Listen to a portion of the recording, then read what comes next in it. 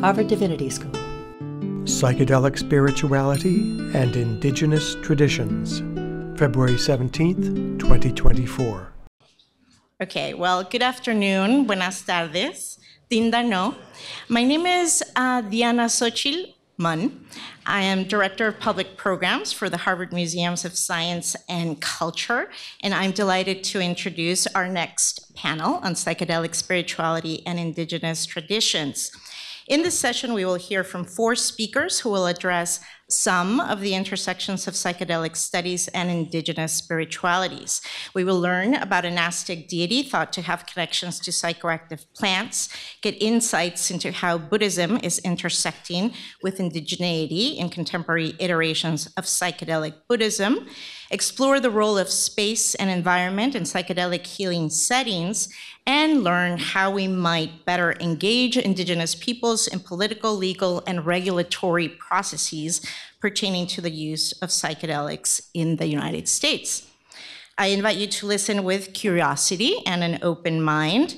And I also encourage you to identify things we ought to be doing differently to better engage and represent Indigenous communities. I am moderating this panel not because I am a scholar of Indigenous or psychedelic studies, um, but because I am a member of the Mazatec diaspora living in the US, and my origin is intricately linked to the psychedelics movement of the 60s. I am 50 years old. Um, my mother, Natividad Estrada, was born in Huautla de Jimenez, Oaxaca, the hometown of Maria Sabina. My father is Henry Munn, an American independent scholar and writer who arrived in Huautla in 1965 to experience mushroom ceremonies, married my mom in 1969, and went on to study and write about Mazatec religion, spirituality, archaeology, and history.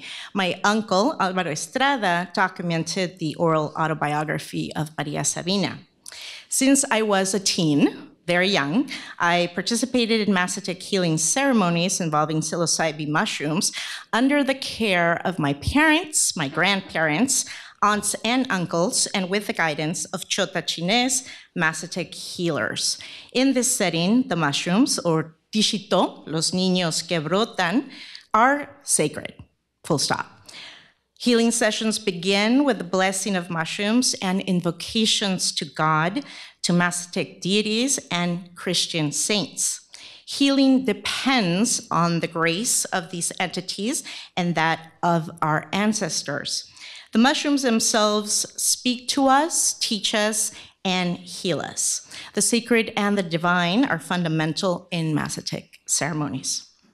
At last year's conference, I made a comment about the need for Indigenous representation in spaces where psychedelics are being discussed, but there are real barriers to make this happen, and truth be told, some indigenous communities may not even want to be involved, given the long history of colonial extraction and theft, oppression, and marginalization they have experienced.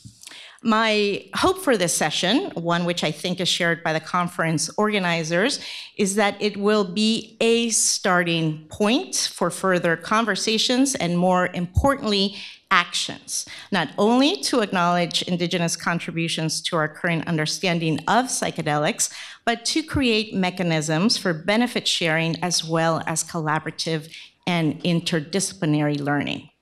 Our first speaker is Osiris Gonzalez Romero, member of the Philosophy and Psychedelics Research Group at the University of Exeter, who will start us off by talking about the Aztec deity Xochipilli.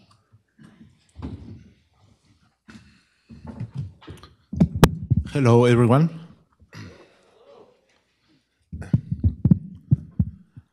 Cualiteotlak, no toca Osiris Inoue González Romero, Noyolo Pajpaki Inintonali Xochipilli. Good afternoon. My name is Osiris González uh, Romero, and I'm very glad to uh, share with you this talk about Xochipilli. Well, this overview of this presentation, the aim of this presentation is to display a synthetic analysis of the information about Xochipilli found in the historical sources. This interdisciplinary research requires the implementation of different methodologies, such as iconography of the codices, historiography, and hermeneutics. Xochipilli was considered as the deity of song, poetry, flowers, happiness, games, pleasure, and fertility. Uh, my goal is to highlight this um, aspect because nowadays, in the so called psychedelic renaissance, it's very common to highlight two kind of legitimate uses the sacred or ceremonial uses and the therapeutic uses of psychedelics. But we tend to overlook a different cultural uses of psychedelics, for example, philosophical uses, political uses, creative uses, and hedonistic uses. The whole debate is trapped between this false dilemma, and due to this, it's very important to highlight, for example, happiness, games, pleasure, and other aspects. The symbolism of Xochipilli, the nobleman who gives flowers, and the use of uh, psychoactive uh, plants will be addressed. It is a divinity revered by the nobles and principals and by the different guilds of artists, such as musicians, singers, and weavers. It is also related to flowers, the rising sun, fertility, and joy. Xochipilli is an androgynous deity that in historical sources is characterized in a feminine form and, in, and, and other times in a masculine form. We don't have enough time to go deeper in this uh, issue, but there are different historical sources regarding this topic. The sculpture of Xochipilli was found in Tlalmanalco, very close to the Popocatépetl volcano, and it is one of the most emblematic works of uh, Mexica art sculptors, both for its technical execution and high symbolic content. And part of the uh, discussion uh, section of my paper, it's regarding some uh, framework. For example, in that case, the expression of astonishment is palpable, intensified by the position of the face thrown back and the dip of the gaze. In this case, the essential is ecstasy. We are in the presence of someone who is not looking as we do every day, but is absorbed in the rapturous experience of the sacred trance of the flowery dream, Temixoch. This is another way to understand the psychedelic experience be beyond the frameworks of altered states of consciousness or modified states of consciousness. For example, it's more cultural appropriate to talk about Temixoch or the flowery dream to characterize the psychedelic or the entheogenic experience. Some scholars, uh, the, the, another discussion section of uh, my paper, it's some scholars embrace diverse hypotheses regarding the plants and fungi linked with this sculpture. Richard Evan Schultes and Albert Hofmann um, point out that the glyphs carved on the body of Xochipilli represent various plants, such as tobacco flower, marigold flower or ololiuqui, Turbina corymbosa, Siniquiche butum, Heimia salicifolia, Teonanacatl mushrooms, mainly Psilocybe aztecorum. In Mexico grows 50 species of psilocybin mushrooms, the largest amount in the world. Poyomatli flower or Cacahuaxochitl, Quararibea funebris. On the sculpture pedestal is visible a stylized representation of the fungi Psilocybe aztecorum, according to Schultes and uh, Hofmann. Anyway, there are mainly hypotheses, and we have to assume that in order to avoid dogmatism. There are six different proposals regarding the iconography attached to this uh, sculpture. This is the proposal that you can find in the uh, um, journal uh, Arqueología Mexicana. And for example, the uh, Siniquichi salicifolia, it's um, on the back, the um, psilocybin, uh,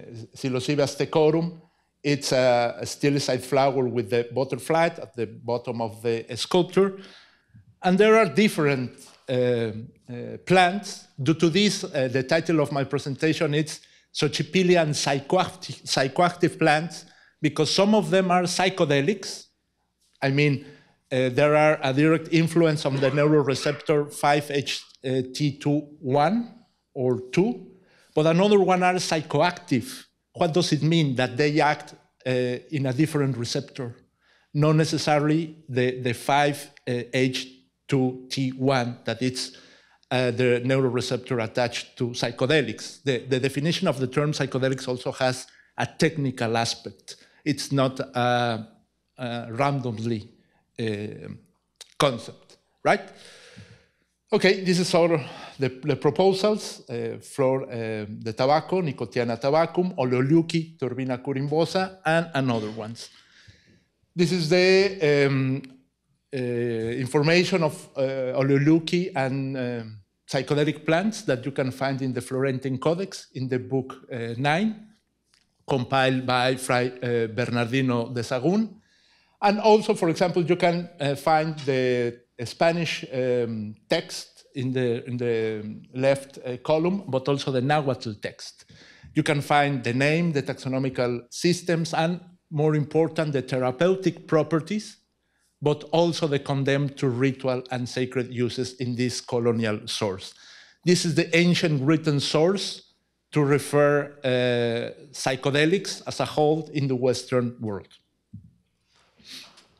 To explain more precisely this relationship between plants and music, remember that Xochipilli is the deity of uh, song and dance, of singing. It seems pertinent to take as a reference the research carried out by Abraham Cáceres, who considers that although the interpretation of Robert Gordon Wasson is useful, the truth is that for more specialized research it is incomplete because it does not explain the relationship between the plants and flowers found in the sculpture with music. For example, Cáceres has emphasized the role that Ololiuqui, whose active principles, ergine and hydroxyethylamide, which are of the class of indole alkaloids, contain psychodysleptic properties. That is, they affect auditory perception. And we can talk about auditory synesthesia, not only visual synesthesia, but also with Ololiuqui, Siniquiche, and Teonanacatl are, are related with this auditory synesthesia, and that makes sense that are related with the god of singing, right? Robert Gordon Wasson basically, basically follow, follow the path of Richard Evans Schultes and didn't add nothing new regarding botanical identification. Nevertheless, nevertheless, his contribution focused on his interpretation of the sculpture, and above all, in highlight the sound synesthesia or sonorous hallucinations attached to Siniquiche, Heimia salicifolia. This is significant to the most studies focus on the iconography aspect of the sculpture of Xochipilli, especially of the different types of flowers and plants carved on the body, but very few have focused on the relationship between music and the plants identified with, with this deity. And this is interesting to highlight because uh, nowadays the word for shaman or maracame in Birraritari or Huichol language, uh, the, the translation of maracame, it's the singer, right? This is the, not only the shaman, but more properly, the singer. According to Abraham Cáceres' hypothesis, some of these plants whose active principles have psychodysleptic effects, Siniquiche, Ololiuqui, and Teonanacatl, are symbolically related to singing. Mercedes de la Garza mentioned that many techniques were used to achieve a static trance, some painful and others pleasurable. This is important to uh, achieve a better uh, understanding of the rituals, which is the second part of this talk. The rituals related to Xochipilli in order to achieve a better understanding of the cultural context of the use of these psychedelic um, plants. This is another uh, depiction in the Magliabechiano uh, Codex. It's a character uh, eating mushrooms, and behind him it's Mictlantecuhtli, the lord of the underworld, the, the lord of the dead. And it's interesting to know how the ritual use of psilocybin mushrooms in Mesoamerica it's related with the underworld realities. This is also a common cultural feature uh, shared with the Maya, right, and with the Mixtec people. These are uh, some of the flowers depicted in the uh, sculpture. The pisitl is the name in Nahuatl, Nicotiana tabacum. And it's interesting because um, uh, tobacco uh, or pisitl uh, was related with the um, with some uh, sacred properties against death, for example. The cacahuasochil, Quararibea funebris, there are psychoactive plants also mentioned in the um, Badiano, de la Cruz Badiano Codex to relieve the, um, the works, the excessive work of the ruling class also, these psychoactive plants were used by the rulers in order to alleviate the pressure of the government. Uh, Ololiuqui, which some call coachihuitl or snake plant, it's a climbing herb with thin green cordiform leaves. Uh, this is steam green, third long white flowers. The seed is round and very similar to that of cilantro. Hence, the name in Nahuatl, the term ololiuqui means round thing of the plant, and it refers to the seeds. The roots are fibrous and thin. The plant causes four degree burns, helps syphilis, this is important, and mitigates the pain produced by the chills. The seed has some medical uses if it is pulverized or taken as a cookie, or if it is used as a poultice in the head or forehead with milk and chili. It is said to cure eye problems. When you drink, it acts as an aphrodisiac. And it's interesting because Xochipilli was related with the um, venereal diseases. According to the Aztec worldview, was the deity who provoked the venereal disease, and also makes sense that all these plants that have therapeutic properties against syphilis, for example, the Ololiuqui or Rivea corymbosa, but also Siniquichi and Heimia salicifolia, uh, have been related with this uh, deity. Now, in our modern society, we tend to focus everything on the psyche, psychedelics, psychoactive, and, so on. And it's interesting, for example, to notice that mental illnesses in the Aztec worldview are related with the heart. And there is a complete table of mental illnesses or diseases that are related with the heart. It, it's, a, uh, it's a different uh, cultural feature. Also, uh, to highlight this incommensurability, uh, the, the word for soul in, in, in, in Nahuatl at least before 16th century, did not exist. Right? And it's interesting to, to think out of the box in order, for example, to think indigenous spirituality without the concept of soul, that it's a key concept in the Western world.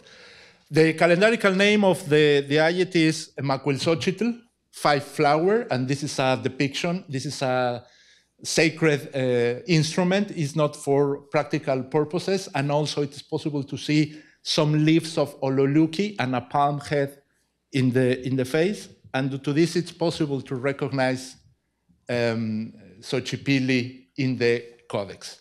I want to close this uh, presentation with the rituals. These are the Ahuyateteo in the Codex Borgia, the gods of pleasure.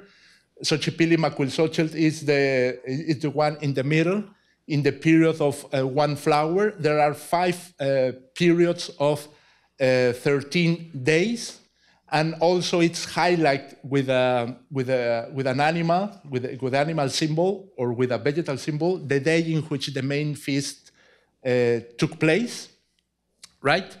And um, this is another uh, depiction in the uh, Codex Borbonico. Xochipilli is playing the drum with a flower, uh, you know, uh, on, the, on, on the top.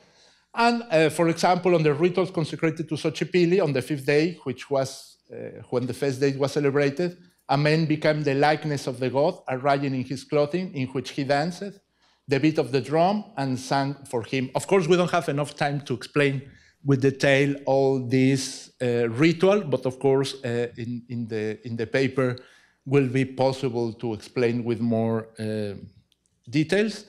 And also, Xochipilli was related with the game, in this case with the, with the Patolli game. It was a very uh, specific kind of, but also with the ball court of the, or, or the ball uh, game. And um, in, that, in that case, also it's important uh, to highlight this uh, aspect of the uh, deity. Of course, it's a complex uh, deity, and uh, we need to uh, uh, more time. Anyway, I am glad to share this brief uh, synthesis with, with you. Of course, this is a part of a broader research, not only focused on psychedelics, but also in iconography. There is a song of Xochipilli. I made an analysis of the song. Of course, we don't have time to analyze the ritual, the song, the plants, and so on. But anyway, if you are uh, interested, for example, I can share with you all the information that you need to go to these historical sources. Thank you very much, and have a good uh, uh, evening.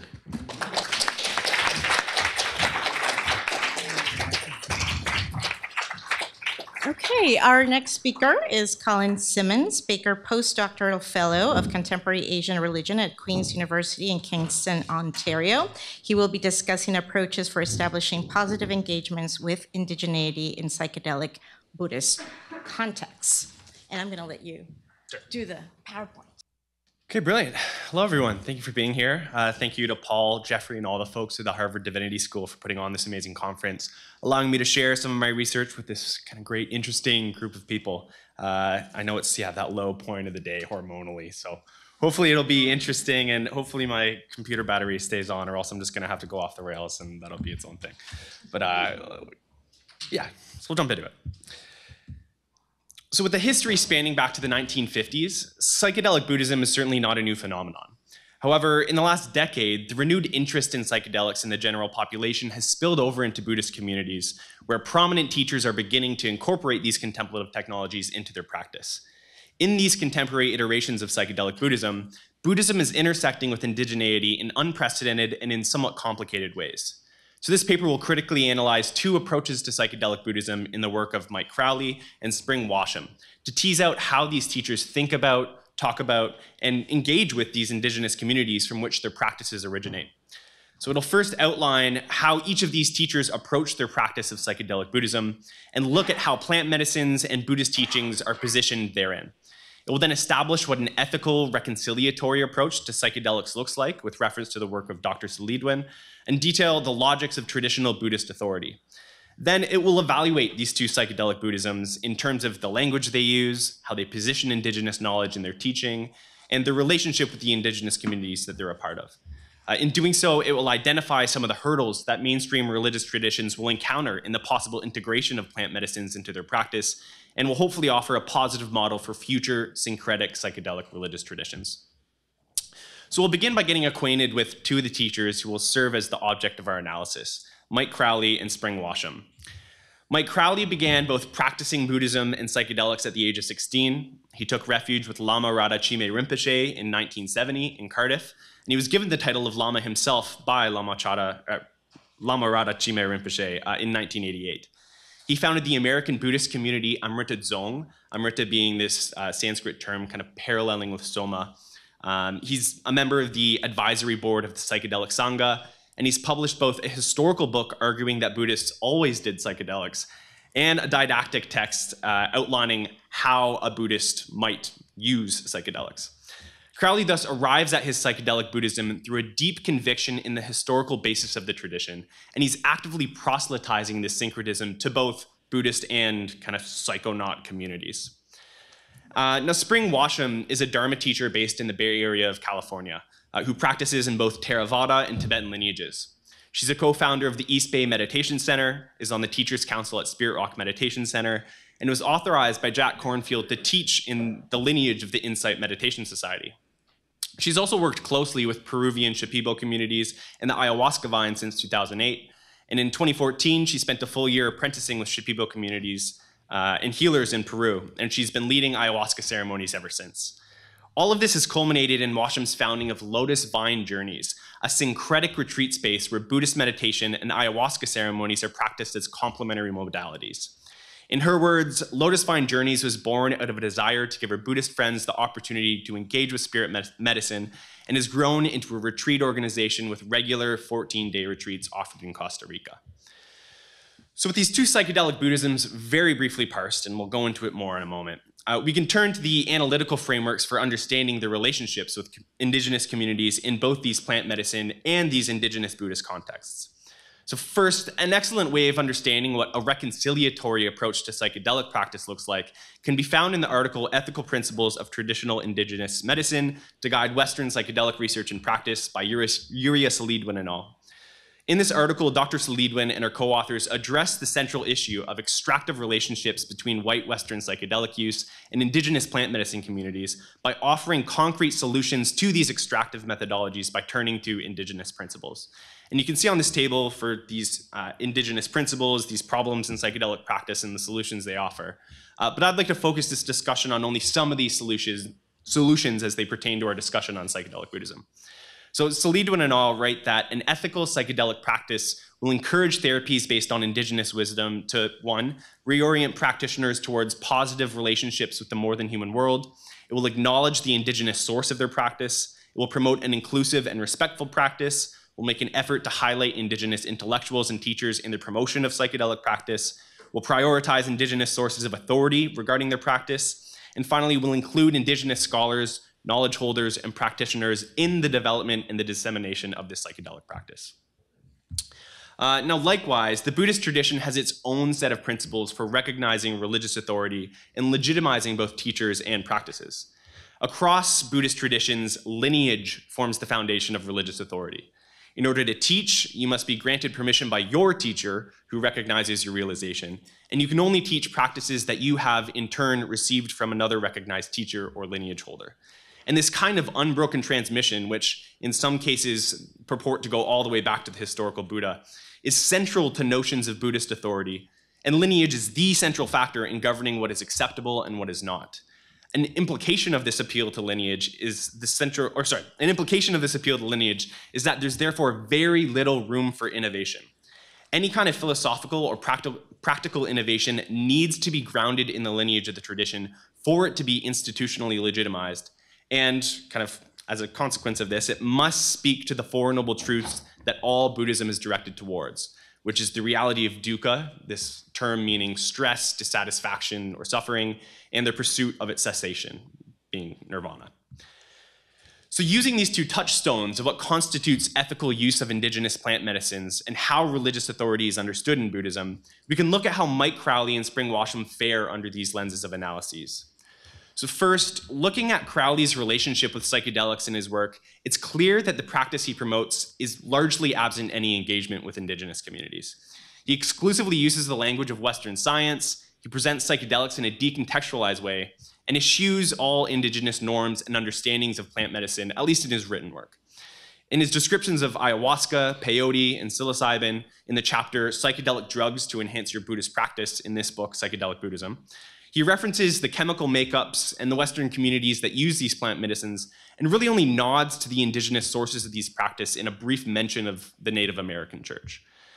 Further, rather than look at how uh, psychedelic experience can connect one to the more than human world and heal self and, and society, as Celidwen suggests, Crowley writes that, quote, I would recommend that all Buddhists take at least one psychedelic trip in their life to check in with their Tathagata Garbha, or their Buddha nature, and to gauge their progress in meditation. And in doing so, he actively decontextualizes and somewhat instrumentalizes these plant medicines and presents them through an extractive lens. When we look at the sources that Crowley uses to inform his psychedelic practice, indigenous authorities, again, somewhat ignored in favor of allusions to the anarchist cookbook Alan Watts, and websites like Erowid, which, well, fine, don't recognize or affirm indigenous authority regarding this practice of plant medicine that he's kind of putting forth.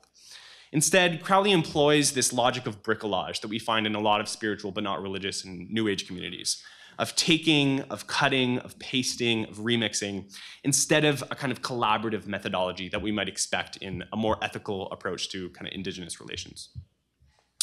Uh, with respect to his relationship with indigenous Buddhisms, uh, Mike Crowley's Buddhist teaching is eclectic, but is perhaps a better example of positive indigenous relations. His book, Secret Drugs of Buddhism, writes the history or rewrites the history of Vajrayana Buddhism to always have been involved with psychedelics. And while I largely see the book as a work of eisegesis, where he reads his own meaning into these kind of historical materials, Crowley nonetheless displays an attention to indigenous Tibetan norms of authority and secrecy.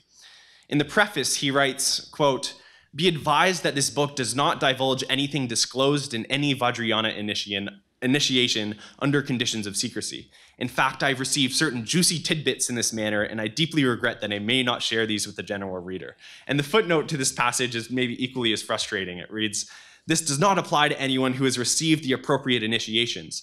Thus, should I meet anyone who has had the empowerment of, say, the Kaya Mandala of Chakrasamvara in the tradition of Luipa, a very interesting conversation might ensue. And I've received the empowerment of Chakrasamvara in a slightly different lineage. So if I ever come across Mike Crowley, like maybe I'll get some of those juicy tidbits and we'll, we'll have more conversations. But regardless, like despite maybe the frustration of this like subtle evidentiary claim or like hiding evidence, uh, there's a certain respect of traditional norms that this secrecy does indeed convey. So in a way, this kind of historical interpretation is in fact appealing to the norms of Tibetan Buddhist authority. Rather than present psychedelic Buddhism as a novel innovation, which would kind of go against the norms, Crowley grounds his syncretism in an inter interpretation of Buddhist history where Buddhists always did psychedelics. In an interview with Spirituality and Health, he was asked, how would you suggest Buddhists balance the fifth precept, which is this rule against taking intoxicants and experimenting with psychedelics? And he replied, quote, prohibitions based on uh, prohibitions placed on psychedelics are the invention of modern teachers and have no basis in Buddhist history. In fact, psychedelics have a very definite place in Buddhist practice. So even if we may hold serious reservations about his historical conclusions in this book, which I personally do, um, he indeed appeals to the lineage of authority in his presentation of psychedelic Buddhism. That said, there are nonetheless moments that might give us pause in psychedelic Buddhism. For example, in his presentation of Buddhism for psychonauts, he details esoteric notions of the Buddha's body, Buddhist cosmology, and Tibetan idioms that you may encounter while tripping before he eventually gets to the foundational Four Noble Truths.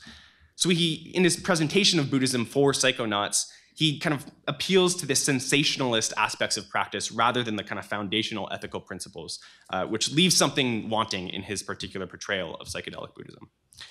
But in Spring Washam's presentation of psychedelic Buddhism, we see perhaps a more robust engagement with indigeneity. Regarding plant medicine communities, Washam not only engages with psychedelics as plant medicines, but has herself trained in formal Shipibo settings. She therefore employs indigenous methodologies in her retreats. She acknowledges the source of this practice and hires indigenous facilitators to lead participants in their ayahuasca journeys. Many of her retreat materials also speak to the original contextualized use of ayahuasca as a modality for healing the self, community, and the more than human world.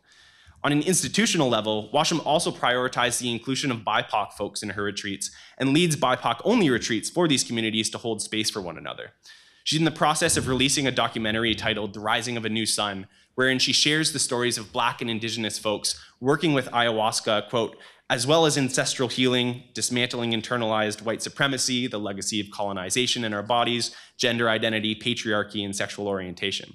So both practically and politically, Washam meets the majority of criteria for an ethical reconciliatory approach uh, to, the, to psychedelic use and the use of these indigenous plant medicines. In terms of Washam's relationship with the Buddhist tradition, there's a little bit of ambiguity. On the positive side, Washam centers the Four Noble Truths in her practice and views plant medicine as a tool to alleviate this central problem of dukkha, of stress, of unease in Buddhism. Further, she has permission from her teacher, Jack Kornfield, to build this syncretic approach to psychedelic Buddhism. Years ago, Kornfield was invited to give a talk on meditation and psychedelics at MAPS, but was unable to attend. And in his stead, he encouraged Washam to attend and give a talk on this intersection. And she's really been blazing this road ever since. So while perhaps not explicit, Washam's psychedelic Buddhism is indeed grounded in her lineage. Where the ambiguity arises is in Washam's approach to reconciling psychedelic use with the fifth Buddhist precept to abstain from intoxicants.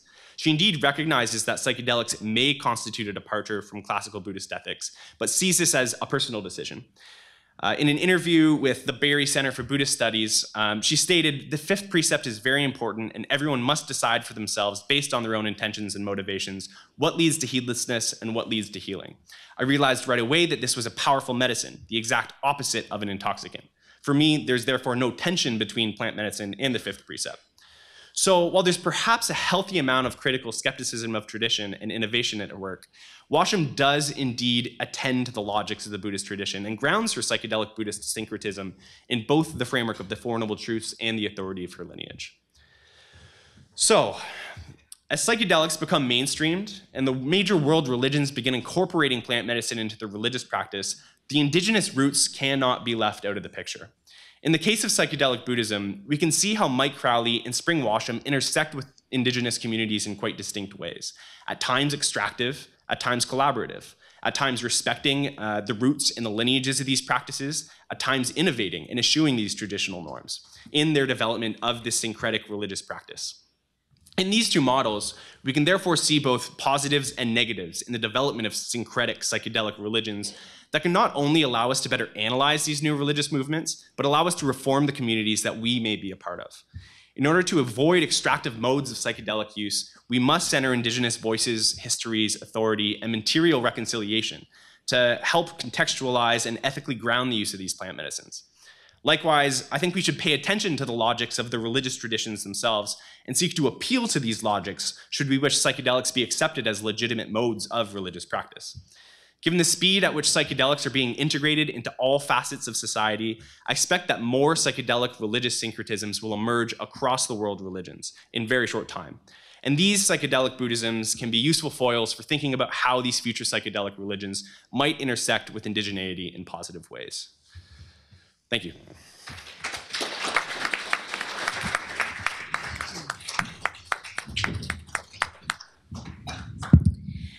Next up is Alex Gearin, assistant professor in the Medical Ethics and Humanities Unit at the University of Hong Kong, who will explore the importance of space and environment in shaping the mood and atmosphere within various psychedelic healing settings. Great. So thank you so much to the organizers, Jeffrey and Paul, for the invitation. Uh, it's been a great day, and I've certainly learned a lot so far, and um, hope you'll get something out of this talk. So today I'm going to present a, a kind of ethnographic exploration of what hopefully builds up towards a somewhat robust framework for studying the mood or the atmosphere of different settings of psychedelic healing. Now, we could understand atmosphere in, in, its most simple sense as the feeling of a place, or perhaps the feeling of a, um, a circumstance, or even a person or an object can, can kind of emanate a certain atmosphere. Um, there are many angles to thinking about affective atmospheres or just or atmospheres, but I'm just going to begin with um, taking you on a visual journey through the setting and the environment of um, some ethnographic research I did in 2019 in the Peruvian Amazon. So I spent several months um, studying and living with uh, an indigenous family of healers that serviced um, international clients coming to drink ayahuasca at a temple called uh, Pachamama Temple. So they worked in collaboration with a European man, and at the time they were one of the more popular um, ayahuasca retreats operating in the Peruvian Amazon. Um, but so we're looking now at the Maloca, the main Maloca, where people, where the clients would drink their ayahuasca, and you can see that it's a thatched roof, and. Um, I would like to draw your attention to the um, paintings around the edges of the the Maloca, where we see oil paintings of different deities from the world religions. Now, these were um, commissioned by the European um, co-owner of the retreat with a Quechuan speaking mestizo um, artist um, named Ruvexen, who we'll come to in a moment. Um, but yeah, just to keep, keep that in mind. So here we are in this, this is the setting. Um, you can see it's just on the edge of the Yarinacocha Lagoon. So in the evenings, you would hear the symphony of cicadas and birds and, and um, the beautiful uh, ecology. It's kind of I was doing research in, in winter, in the dry season, so that's also part of the atmosphere, you know.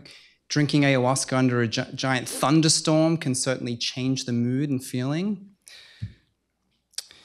So guests would uh, spend time in uh, hammocks between, between drinking sessions.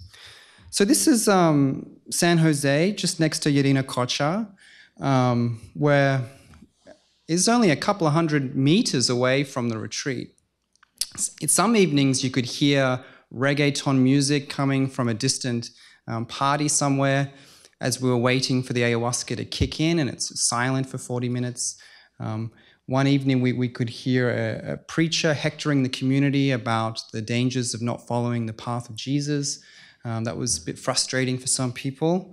Um, so, th- this broader environment that the Shipibo live in and the healers inhabited um, in 2019, prior to COVID, had about 50% unemployment, right? And it's subject to economic scarcity and ambient poverty. And so that's kind of part of the environment, and I'm going to argue part of the, the mood or the atmosphere of drinking in this session, in this place. Also nearby is the Yarinacocha Lagoon, where the clients, we, where the participants, would be taken on tours into the enchantment of the, the natural ecology. Um, it's really beautiful.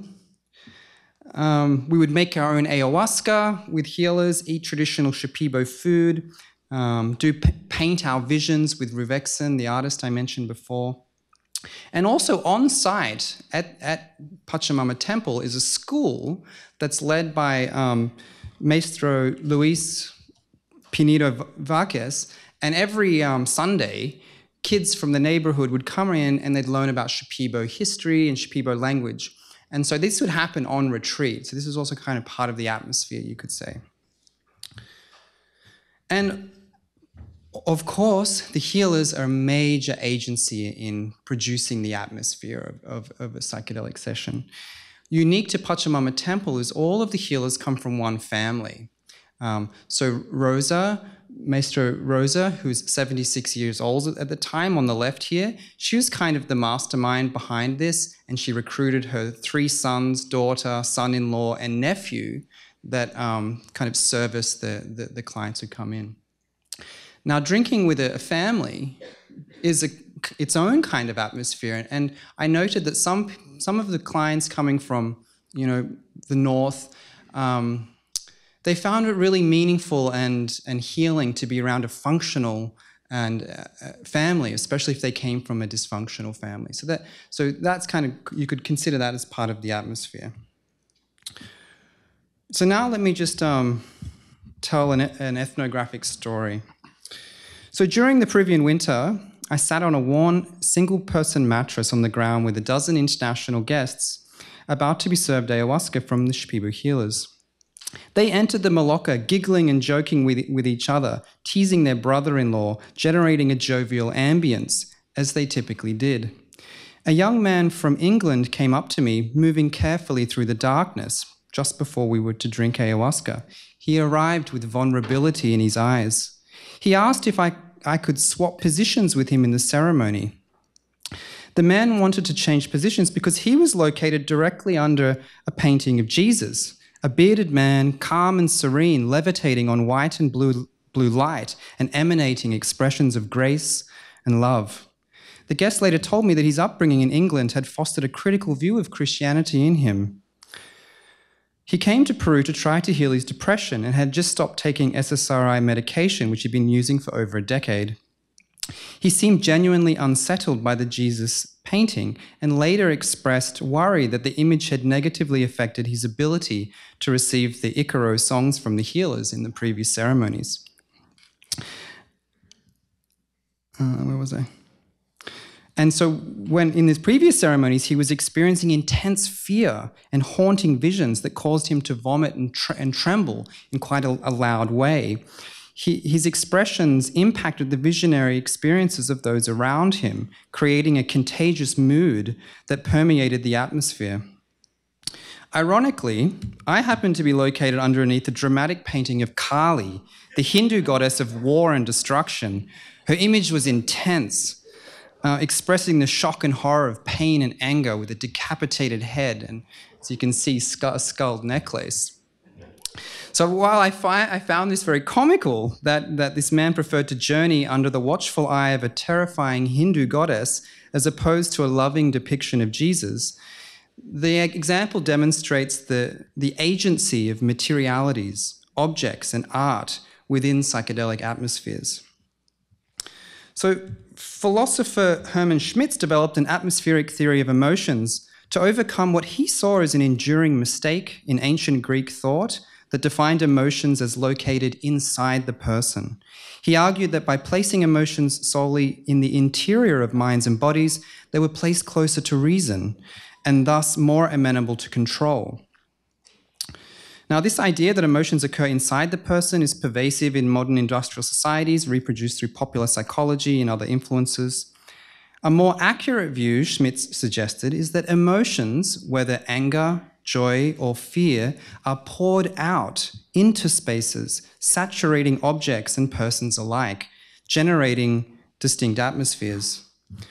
Ben Anderson extended such perspectives by suggesting that affective atmospheres are not reducible to the individual bodies that they emerge from, but are shaped by the human and non human materialities and environments that surround bodies and that exert a force that breaks down and dissolves the subjective and the objective, the interior of the person and the exterior of their surroundings. Understanding affective atmospheres requires attending to their indeterminacy their so called vagueness. They are not objects like cars, chairs, or white blood cells that can be measured in determinate ways, but they are singular, Anderson writes, in the sense of knowing the celebratory feeling of a birthday party, the collective sadness of a funeral, or the electric sensation just before a massive storm breaks. Anderson explored how effect, affects are collective and transmitted between people and between people and environments and objects and non human entities. Now, this theorization of affective atmospheres bears a wondrous similarity to descriptions of psychedelic phenomenology that emphasize boundary blurring between per the person and their surroundings, whether framed as ego dissolution, becoming one with the universe, or shapeshifting to the point of view of an animal or plant. Thus, along these lines, psychedelics are not just mood enhancing or meaning enhancing molecules, as defined by Ido Hartogsohn and others, but are atmosphere enhancers, manifestors, or openings, given their capacity to intensify sober kinds of affective atmospheres that already dissolve bodies and environments with feelings. Psychedelics can help to bring the atmosphere into the foreground whereby it permeates the bodies of persons and is, and is permeated by them, connecting people to their environments and settings, sometimes in profound ways. This is why certain environments, sacred or special places, are sought after for their safety and healing properties or their cosmological properties. For instance, um, Reichel-Dolmatoff has done some great work in the 1970s and 80s on Tucanoan uses of yahe or ayahuasca in different environments. And um, I didn't get a chance to contact the Reichel-Dolmatoff Foundation in Bogota to get permission to show you the images, but I encourage you to buy this book on the right um, to check out these images of all these different places where the Tucano would drink. One of the most sacred was is a place called Nyi, which is um, a, a boulder with petroglyphs on the side. And shamans would drink yahe and use the hexagonal prism from the side of a tortoise to visualize the ecology around them and get in touch with what I would call place based atmospheres. So, psychedelics, uh, actually, let's keep going. So, before I went to Peru, I'd already done a really large ethnographic study for my PhD in Australia among neo shamanic um, groups. And so when I arrived to Peru, I could Peru, I could automatically sense how different the atmosphere was at the Shipibo-led ceremonies with their jovial and dramatic approach. And I, when Osiris began his talk, he, he spoke about this distinction between the sacred and, and the therapeutic and critiquing it, saying, actually, what about the jovial and playfulness and the silliness? And I, I recall Jonathan Ott um, also discussing this suggested that rather than the term recreational, perhaps we should use something like ludic or ludable to, to talk about those joyful and silly feelings that can erupt during um, psychedelic experiences. Um, so the Australian neo-shamanic ceremonies, by contrast, tended towards a more serious attitude, more ambient and consoling music, more comfortable materialities such as thick mattresses, pillows, hot water systems, ornamental rugs, Wi Fi, and situated closer to home, both emotionally and physically. but also illegal, casting a secretive atmosphere across the evening. The palpable sense of difference in the ambience or atmosphere of ayahuasca ceremonies in these different contexts inspired me to try to pencil out an outline of psychedelic atmospherics or what psychedelics do to and reveal about affective atmospheres.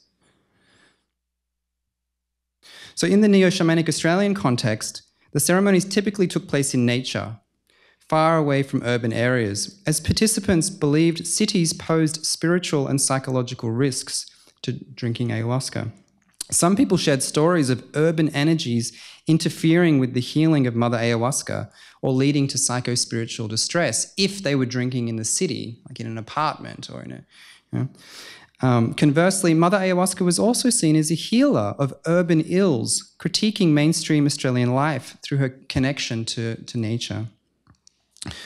So it's a bit of a montage. Back, let's flip back to in the Shipibo site in, that we were just discussing. There was always one healer who stayed in the middle of the Maloka to protect the healers and clients from external sorcery attacks. Compared to the wondrous and mystifying mood of the healing Icaros that maestros sung to the clients, the protector shaman songs in the middle of the ceremony were sometimes emotionally strained under the weight of competitive sorcery, expressing agony and triumph or relief, bringing local, local issues of urban politics, inequality, and ambient poverty into the feeling of the ceremony space. The giant anaconda of one maestro lived under the Maloka and was summoned during ceremonies as a protector, while other maestros were visited by plant spirits and other allies that shaped their healing songs that are directed towards the guests. In, these, in this setting, these non human persons are agents of healing and sorcery or protection that help to shape the atmosphere of the settings. So, to conclude, here are what I suggest are kind of some of the main, what could be the main elements of a framework for studying psychedelic atmospherics. Or the, um, yeah, so let's go through them. So, of course, the, the substance and the dose surely plays into the equation. You have a little bit, you have a lot, it can change the, the feeling. Um, Second on the list would be the music and the sonic dimensions. Are people chanting? Are they listening in, on their headphones? Um, you know, this morning, Luis Eduardo Luna said that in the in Shipibo traditions, once the song is learned from the, from the plants, the song is the medicine, and you don't necessarily need the plants anymore. So, um, the music um, is a big part of it, clearly. Um, the guidance and, and care providers, including their personality, their presence, their attitude, their charisma, um, you know. But and also, what if there is no guide and there is no hierarchy and it's a relation, everyone's on the same kind of level? What type of atmosphere difference could that make? Um, space and materialities. So let me look at this one. Yeah, so everything from the interior of the space, the altar, the mesa, the arrangement of bodies, is it a solo or a group session? The place and the environment, uh, the Maloka, clinic, church, apartment. This morning, Candice Oglebsky said, discussing the feeling, asking, what, is, what does it feel like coming into a clinic, a space of, of privilege and power imbalance? So, you know, the architecture, but also the institutional um, kind of nature of these, these different spaces, what effects can they have on the atmosphere? Um, urban environments, natural environments, sacred sites. And then what about sociocultural and cosmological influences, the social expectations that people bring? I remember once speaking to some ayahuasca drinkers in Australia, and they were imagining what if if Mother Ayahuasca was actually Father Ayahuasca. And some of them commented that, oh gosh, it'd just be too masculine, and, and, and, and thought that perhaps Mother Ayahuasca was present to try and kind of um, push down the intense um, masculine energy that some of the singers would, you know, play on their didgeridoo all night or bring a very masculine feeling into the, into the evening. Um, assault, sorcery, ego dissolution. How do the how do non-human beings in, impact the the atmosphere? What about economic interactions? Um, the impact of the service economy on psychedelic moods. I've heard about these um, psychedelic retreats where you know you get offered these upsell uh, products or services on the way through where you can you know pay an extra $700 and have some 5-meo how does this this kind of service economy play into the feeling or um, tourism and development and of course issues of class in the, in the super expensive retreats in switzerland or that have just started in australia for example. What does it feel like to pay $25000 and drink and take some psilocybin?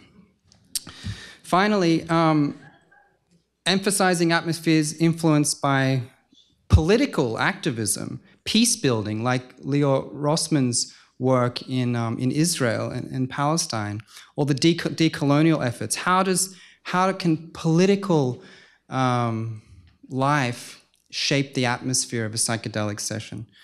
So, and I just want to finish by saying, you know, some people, I think, would say if you take a big enough dose, it doesn't matter where you are. You'll end up in something like what the late Kalindi Lai called the interdimensional village. This may be true, but the heroic doses of Terence McKenna and others are not for everyone. And in any case, the atmosphere may become even more important the stronger the dose and the more vulnerable, sensitive, and intense the experience. Okay, thanks.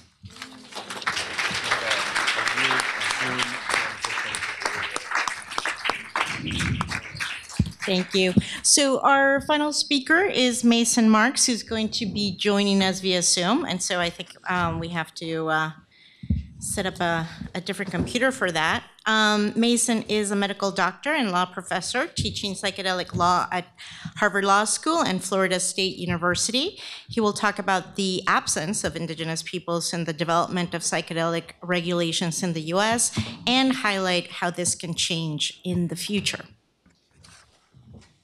Great. All right. Thank you so much. Thank you for having me. I really want to thank the organizers for putting together such an incredible event and program. And I'm very sorry that I can't be with you uh, in person today. And despite uh, the scenery in the background, I, I unfortunately am not on vacation, but I'm happy to be able to, to jump on this call with you. So I am a law professor. I teach a course on psychedelic law. I, I also teach a more general course on drug law. And I'm going to talk a bit about the involvement of indigenous and religious communities in the lawmaking and rulemaking process. And, um, you know, it's, I, I'm not indigenous. And so um, I'm, I'm speaking about something that, you know, I don't have personal knowledge of. I've, I've been involved in the rulemaking process and I've spoken to indigenous communities in Oregon and Colorado, which are the two states that have uh, the psychedelic regulation that I'm going to talk about. And so I'll, I'll do my best to convey uh, what I've seen during these, these uh, lawmaking and rulemaking periods and what I've heard from indigenous people there, who, of course, are a select group. They don't represent um, all indigenous people. So I'm going to focus in on Oregon and Colorado. So I want to first start with Oregon's psilocybin law. Oregon was the first state to legalize the supervised use of psilocybin. That means the use of psilocybin uh, producing mushrooms or uh, extracts of psilocybin made from those mushrooms under the supervision of a trained and licensed individual called a facilitator. So this is supervised use. People cannot go to a dispensary and buy psilocybin and take it home and use it however they like. They have to use it under the supervision of these professionals who monitors them while they experience the effects. And voters in Oregon approved this law in November of 2020. It was called Measure 109. It was a ballot initiative approved by voters, also called the Oregon Psilocybin Services Act. Uh, that program, after its approval, entered a two year rulemaking period, and then the industry opened for business to clients last summer. And so at this point, it's been open for about eight months or so. And I would say roughly, based on estimates, about a thousand clients have been served in that program. Colorado is a couple years behind Oregon. Voters enacted a law uh, or a ballot initiative called Proposition 122, also called the Natural Medicine Health Act. It shares some similarities with Oregon's law, but it's also very different. I won't get into too many of the details of the differences right now, and I'll, I'll just focus on the uh, uh, those that are related to religious use. But one of the key differences that is relevant, relevant is the fact that while Oregon's law regulates psilocybin, Colorado's law will potentially regulate four psychedelic plants and fungi. So not just psilocybin, but also uh, iboga, which produces ibogaine and is used by people in uh, West Central Africa, like practitioners of the uh, religion. Uh, it potentially will regulate um, ayahuasca and uh, mescaline from, from non peyote sources. So that's one really important thing to keep in mind is the fact that uh, Oregon is just psilocybin, Colorado is um, a whole handful of substances. So we're, we're talking about a much larger variety of indigenous communities, and they're around the world. And something I'll come back to when it comes to the Colorado law is a, an amendment that the legislature made to the voter enacted ballot initiative. And this was last summer. And I, will call this the Fenberg Amendment after its chief sponsor, Steven Fenberg, who is the Senate president in Colorado. It's also called Senate Bill 290 or SB 290. So it amended the Natural Medicine Health Act enacted by voters, and I, will come back to that because it's very important. So these are the two laws I want to talk about Oregon's Measure 109, Colorado's Proposition 122. The question is how much involvement did Indigenous and religious communities have in the creation of these laws and the rulemaking periods that followed? And before I answer that question, I want to talk a little bit about what happened to Native Americans in these two states and other states throughout the country. In Oregon, there were many Native tribes present prior to the arrival of European settlers. One community was the Klamath, who lived in southern Oregon. And they were eventually removed from their ancestral land because settlers of European descent wanted their land for farming. They were relocated to a heavily wooded area where they started their own uh, logging industry. And then later, the settlers of European descent wanted that land as well uh, and, and wanted that, that uh, land for, the, for its timber. And so there is a long history of violence, taking, and failing to honor the word of the government when agreements were made by the US government and not honored. So there is this long history that it's understandable uh, would generate a lot of distrust on, on the part of these communities. And, and it's a similar story in Colorado where uh, people like the Ute tribe were relocated. And in this case, it wasn't so much uh, uh timber as it was mineral deposits that were, were desired.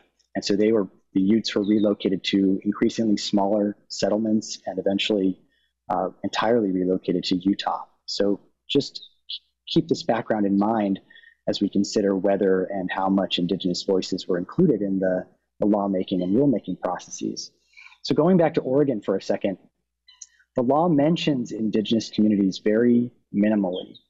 One way that it does this is through the uh, Psilocybin Advisory Board that was formed and I served on that board for about a year before I moved out of the state to Florida. But I was a member of the, the you know, from the beginning. And um, of, the, of the seats allocated to that, that uh, 15 or so member board, one seat was reserved for a representative of one of Oregon's federally recognized tribes. But that seat went unfilled for about two years. Uh, by that time, the final rules had already been adopted. They did eventually fill that seat.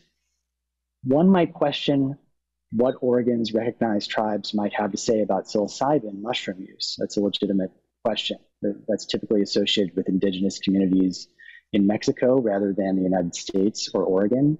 Native American communities like the Klamath and the Utes in Colorado utilize peyote in ceremonial for ceremonial purposes uh, but Oregon was regulating psilocybin, not peyote. So a little bit of a, a disconnect there. Still, uh, certainly a reasonable thing to do to ask for the input of the of Oregon's federally recognized tribes. And uh, as far as I know, that was not done during the drafting of the law. And um, as I said, it uh, took years to fill that spot uh, on the advisory board. Colorado's law, um, as I said, it has a key difference in that it involves many more indigenous people around the world. And uh, I think I've probably attended most of the meetings of the Colorado Advisory Board, and there have been dozens. So we're talking uh, hundreds of hours. I've probably attended more than most people. I don't think I've ever heard uh, Bwiti mentioned. And um, the way that indigenous communities are mentioned in um, Colorado's law is primarily through the Fenberg Amendment. So this Senate Bill 290, which amended the voter enacted ballot initiative, it included some very powerful language right up at the top. So uh, right, right in big bold letters uh, at the very top, uh, Fenberg said that quote, considerable, considerable harm may occur to federally recognized American tribes and indigenous people, communities, cultures, and religions, end quote, if traditional use of psychedelics is misappropriated or exploited. Further, the legislature said, legislature said its intent was to, quote, ensure that the federally recognized American tribes and indigenous people, communities, cultures, and religions are honored and respected as the state legalizes and regulates natural medicine, end quote. So another, another reasonable question is to ask whether it's even possible to create a regulatory framework, a legal system that heavily regulates these sacred plants that are used by indigenous people around the world and, and honor and respect, respect those people and their traditions. Is, that, is it even possible to do that? Uh, one thing that the Fenberg Amendment did to attempt to achieve those goals is to require the formation of a working group of federally recognized American tribes and indigenous communities. And uh, at a public meeting in July, the primary state agency that oversees the implementation of Colorado's law said that it hoped to get this uh, indigenous working group up and running and unveiled in August. Uh, but now, here we are six months later, and that group has not been formed. Uh, it was just last month that the application to apply to be on that, that board was published. Uh, so just like in Oregon, how the seat remained unfilled for the uh, tribal representative uh, long after the initial rules were, were proposed, discussed, and adopted, the same has happened in Colorado because at the last monthly meeting of the uh, Colorado Natural Medicine Advisory Board, that board adopted its first round of rules. So they voted on the rules after lengthy discussion, and uh, that work group uh, is nowhere to be found. Now, one might question whether it would make any difference at all. And some of the indigenous people I've spoken to in Colorado are not convinced that it would. So they see that as um, sort of an afterthought, something that would be unlikely to uh, be listened to. And from their perspective, again, this is just some people that I've spoken to, they feel that the the process of making Colorado's law left them entirely out of the process. They, they really were not consulted. Certainly, their um, consent was not sought with respect to peyote uh, or, or mescaline in general. There are, are differing opinions about mescaline. Some uh, groups typically associated with the Native American Church uh, advocate for uh, uh, leaving peyote out of these types of laws. There are other groups who would like to leave mescaline. Mescaline can be obtained from other cacti, like the San Pedro cactus. Uh, they would like to see, other groups would like to see mescaline entirely out of these laws, whether from peyote or not. So there's, there's disagreement about these issues, uh, but we really don't hear about this, uh, these debates publicly uh, in public meetings of the board and, and, of regulators.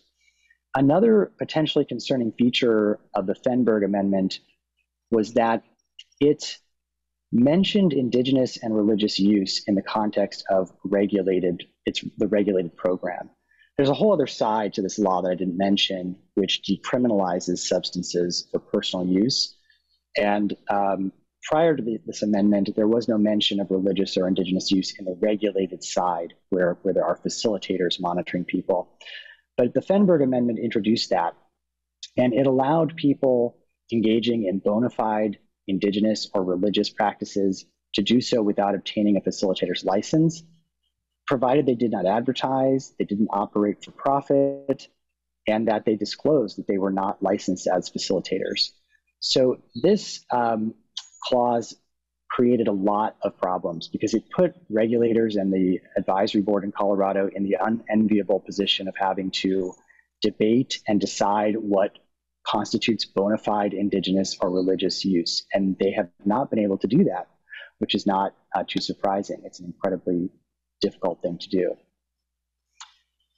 So there's been some debate, uh, even among board members in Colorado, about the meaning of that language, what what is bona fide, and also the way that that language seems to treat uh, the licensed facilitators and indigenous practitioners sort of uh, as belonging to different tiers. Perhaps the indigenous users, uh, indigenous practitioners, are not given the same amount of respect and um, privileges as the licensed facilitators. So that has been a real uh, point of contention.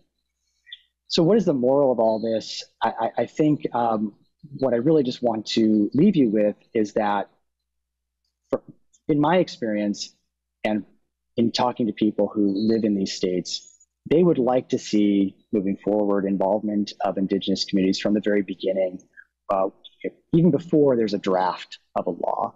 Uh, and oftentimes these laws are drafted by uh, white cannabis business lawyers. And that, that is the, the demographic that drafts these laws. They might, um, at the last minute before the, the language is finalized, get someone who claims to represent indigenous communities to comment on that draft a week or two before it's turned in to the state. Um, but indigenous people I've spoken with say that that concerns them and it reminds them of uh, colonial practices where sometimes the US government might appoint someone as a representative for a tribe or may, maybe many tribes, get them to sign a piece of paper that was supposed to represent a treaty. And so uh, some indigenous people I've spoken with in Colorado feel that this is uh, uh, reflecting these uh, practices of the 19th century. So um, I think what I would like to see moving forward, and what a lot of people would like to see moving forward, is a, a term I really liked from one of the other presenters, which was robust engagement of indige- indigeneity. But it has to happen from the beginning, uh, from step one, and not be uh, an afterthought, which it increasingly appears to be uh, for a variety of reasons. Thank you.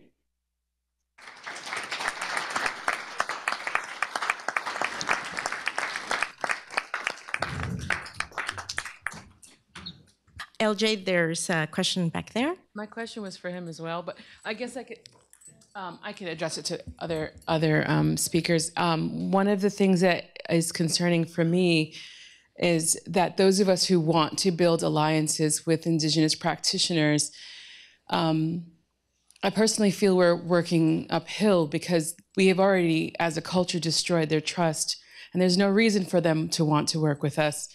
Um, but I'm a member of the board of um, psychedelic medicine and um, therapies.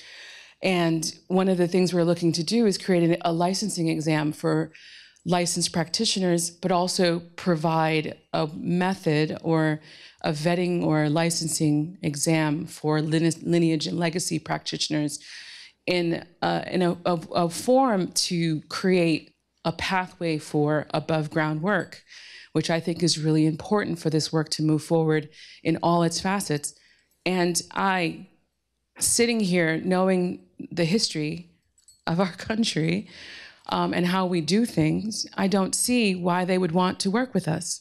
And I'm wondering if anyone on the panel can have some insight or share how we can rebuild this relationship um, including my own lineage, how we can rebuild this relationship moving forward with trust if it's been so, so destroyed. Osiris, you want to take that? Yes, sure. Um, to, to face this, this question, for example, it's necessary to recognize the different cultural uses of psychedelics or entheogens and, and so on. And in order to build this trust, of course, this acknowledgement, it's um, a requirement, right?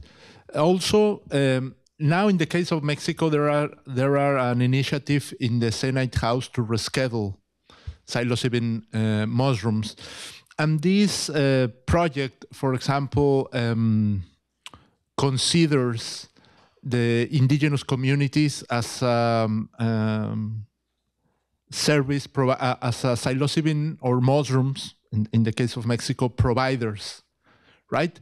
It's a, it's an effort for example not only to include and to preserve right but also to give uh, recognition and reciprocity. For example without indigenous peoples for example we are not be able to talk about clinical trials because indigenous peoples have been the keepers of this knowledge for centuries or uh, even millennia. And the first step is to recognize, for example, the value of indigenous knowledge, include indigenous scholars, because there are uh, plenty of indigenous scholars, and also um, develop a cross-cultural policy, cross-cultural psychiatry, or I notice a, a, gap in the in the field regarding, for example, a cross-cultural psychedelic psychedelic assisted therapy, right? And this is part of a broader scope that it's a, a cross-cultural democracy. but this is not a conference on political science and so on. But it's it's another step in order to develop a cross-cultural democracy to include uh, BIPOC, uh, indigenous people, people of colors, mestizo, Latino, and so on. One of the first steps is to move forward through um, uh, cross-cultural psychedelic assisted therapy. For example, take into account the knowledge of indigenous peoples. I would also like to add that um, while indigenous people may not want to be involved, we should not assume that, right? I think that we should make every possible effort to make the call for their participation, every effort um, to invite, every effort to speak about and document what the collaboration looks like, what the benefit sharing looks like. And so I would prefer that we maintain a positive outlook. Um, but yes, we approach this, even myself, uh, living outside of my community, you have to approach it with humility um, and and you know with a lot of positivity, knowing that um, it may be challenging. But I think that there is a lot of room also, at least among the Mazatec, to learn about integration, which is not a core piece of our practice. And I think it is, it is something that the Mazatec can learn about. So I see a future where um, uh, medical uh, doctors uh, here are uh, in Mexico, in Huautla de Jimenez, Oaxaca, talking with practitioners there and sharing expertise and collaboratively thinking about a better future. On that note, there's coffee outside, and our next panel is at 4 p.m. Thank you, everyone.